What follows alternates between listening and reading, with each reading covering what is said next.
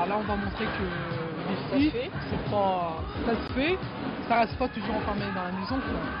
Que nous aussi on peut faire, on peut faire voir quelque chose. Nos parents ils comprennent pas tellement bien le français et puis ils sont pas. euh, Bon, mon père il sait pas lire ni écrire. On le peut français, dire, il hein, pas. certains Ouais. arabes, ils ont l'esprit vraiment tordu. hein. Ils sont enfermés quoi, ils gardent la mentalité d'avant. Les arabes hommes. Ah, Les euh, hommes, même les femmes, de toute façon, c'est pareil. Ceux d'avant.